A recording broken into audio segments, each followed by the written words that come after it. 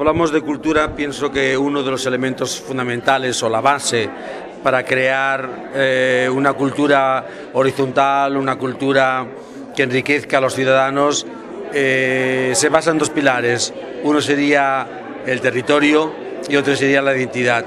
La identidad es el sustrato fundamental para que la cultura crezca y para que veamos que la cultura entre, por ejemplo, entre Mendoza y San Rafael, entre, sí, entre Mendoza y San Rafael, sea diferente.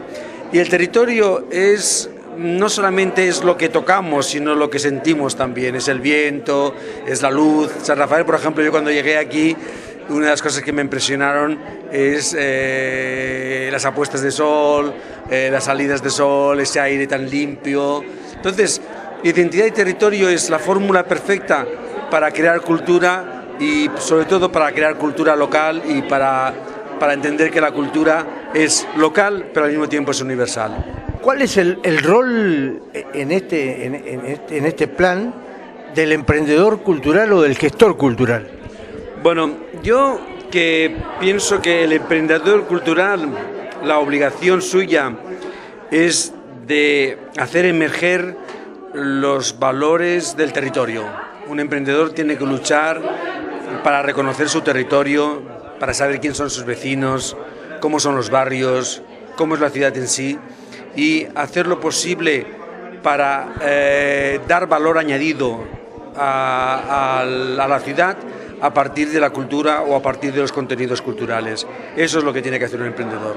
Es, en el siglo pasado eh, en el, en el, 800 las ciudades no crecían así tan en periferia. Era un grupo de, de, agricultores, se juntaban, hacían unas casas y un poco vivían todos en común, ¿no? Las periferias nacen un poco por el desajuste económico.